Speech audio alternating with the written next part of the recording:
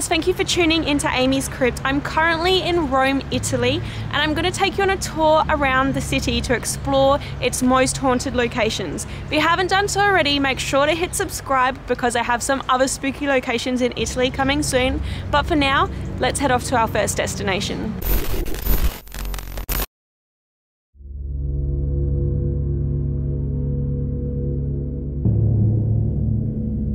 Just behind me is the Roman Colosseum. And did you guys know that this is one of the most haunted places in Rome?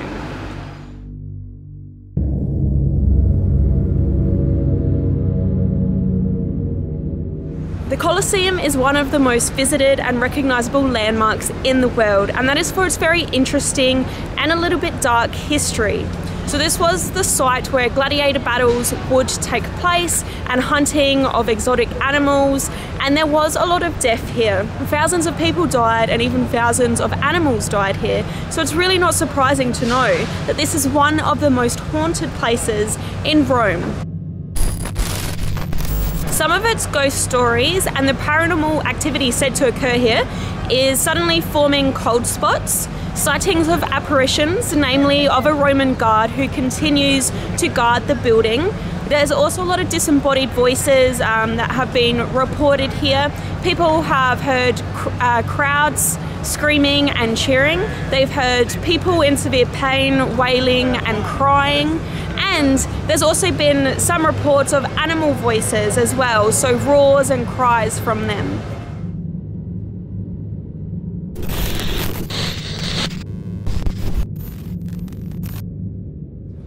I'm now in front of the Roman Forum, which is the ruins of the old city centre of Rome, and it dates back thousands of years. Julius Caesar is actually buried here, and there are whispers and rumours that his ghost continues to haunt the area around his grave.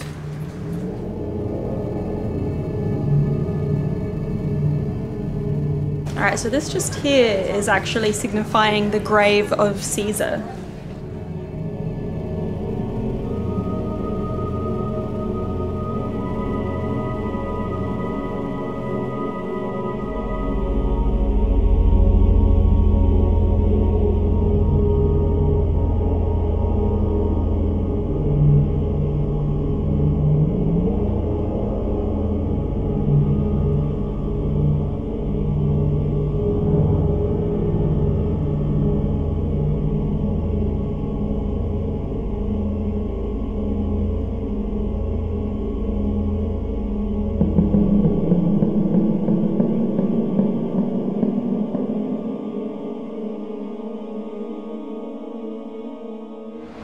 Is such an amazing place. It is definitely one of my favourite cities in the world, and that is for its history, which is very interesting. And because of its age, it's so old, it's definitely had a lot of time to acquire many very cool ghost stories.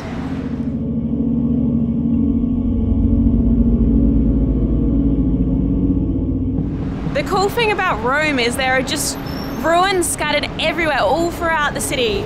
And we've just found this one behind me and we don't even know what it is. It just looks really awesome.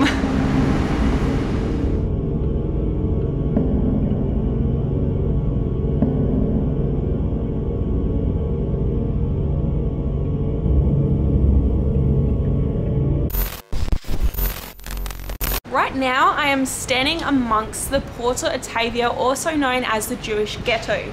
And this area is said to be haunted by a woman who was of royal blood, though she was very scandalous and even outrageous, so much so to the point that she became exiled from Rome and had to leave. Though upon her death, she returned to haunt this area and there has been very common sightings of her apparition all throughout this area.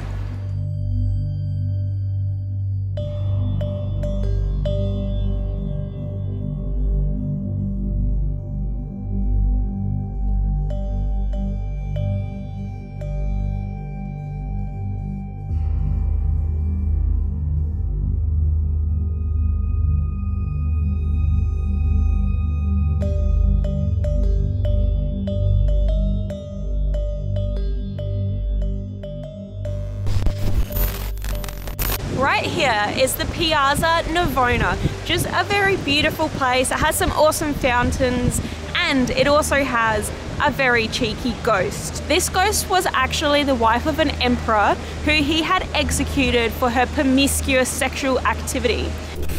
And even in death, she continues her promiscuous ways, allegedly pinching the butts of handsome young men hanging around this area.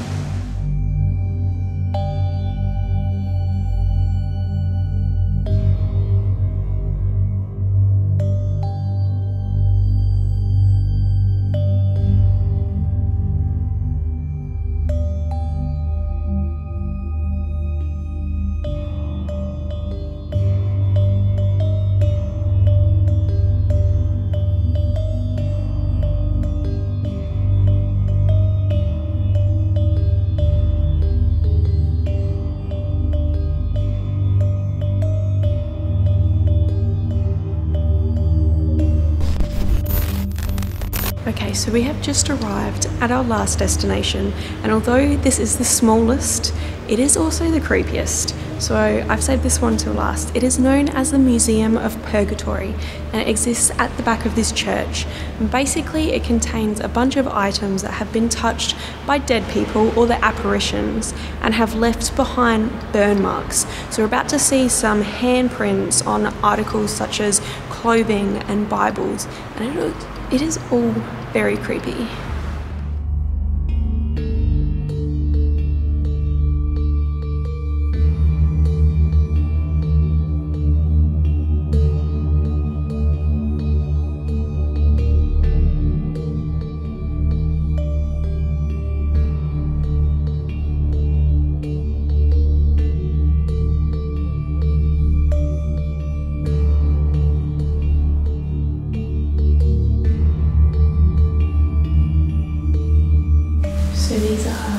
Some of the burnt items. You can see handprints. These are also hands here, and fingertips. This one's a handprint on an apron. There's a few. That's actually a photocopy, as is this one. Another handprint, kind of this way. There are all these books as well. This face one on the end is creepy.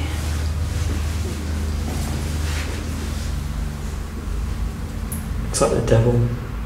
So that one was left behind by a fire, right, on a wall. Yeah.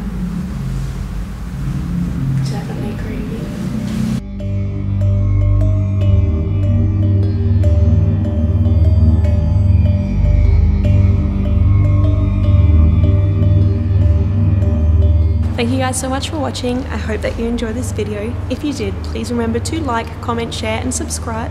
If you're after a bit more reading on these haunted places in Rome, head to amyscrypt.com. And remember guys, until next time, stay spooky.